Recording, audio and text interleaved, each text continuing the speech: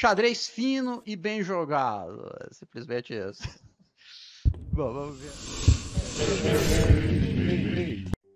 Ai, ai, ai, vamos fazer um pontinho para tirar a zica. Vamos sair da zica com a minha inglesa, hein? Vamos sair da zica, fechando o chat, vamos sair da zica, hein? Com ela, a inglesinha. Essa nunca me deixa na mão, realmente, tá certo? Então, quer dizer, eu perdi uma partida com a inglesa, mas tudo bem. Normalmente não me deixa na mão.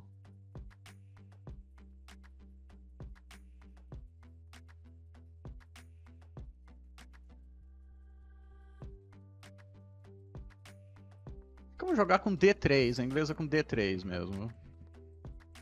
É 5D3. Vou jogar essa inglesa mais, bem raiz. Ah, ele jogou esse. agora eu vou jogar D4.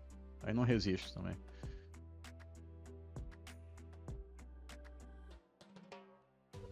Ah, ah, essa linha aqui, como que é?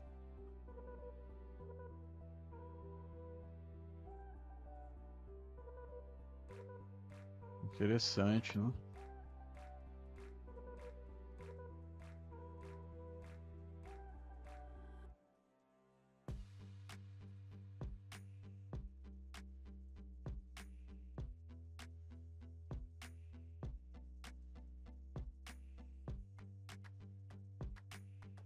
Cavalo tá fora ali, né?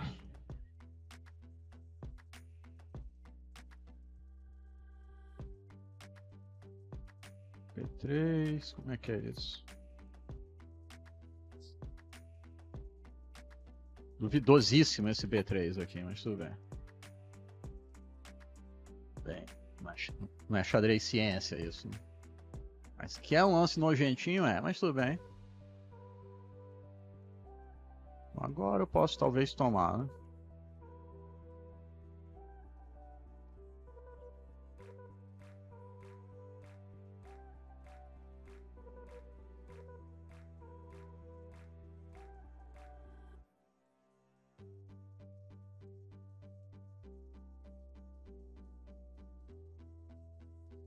pelo menos eu jogasse rápido, né? ajudaria um pouco.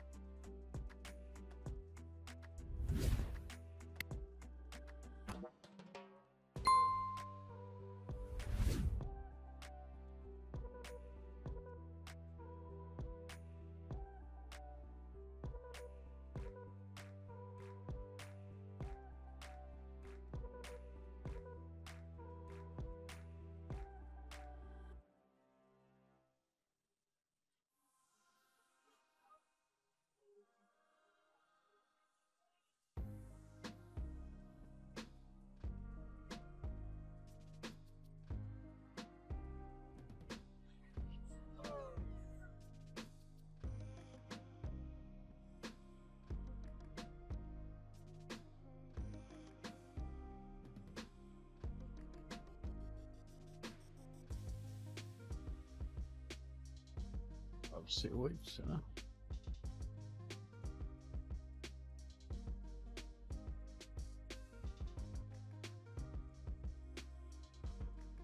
Para o C8 pode ser, né?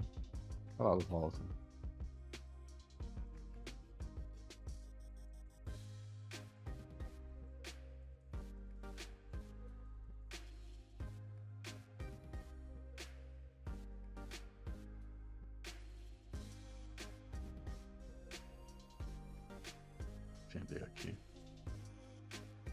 pré. Outra posição bem, nhenhenhê. Jogar H4, H5 nunca é ruim, né?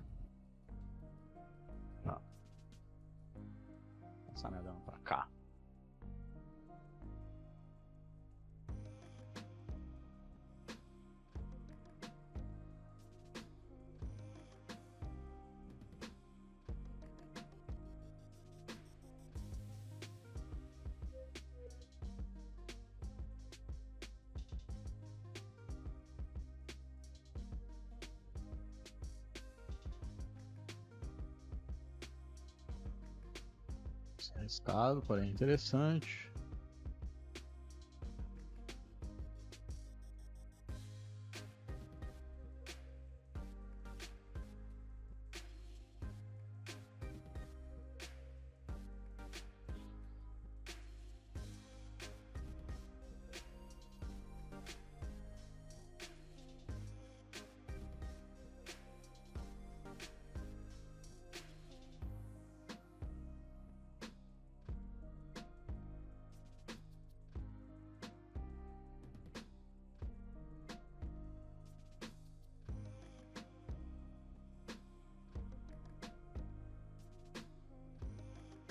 Caramba.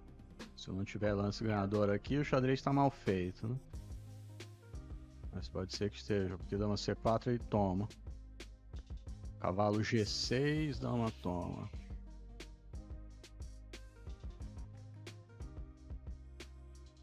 Torre D5, dama toma, cavalo G6. Torre D5, dama toma é cheque. Ai, ai, ai, lance, lance, lance, half pig. Dama C4, torre toma E5, exclama. Ah, e bispo toma.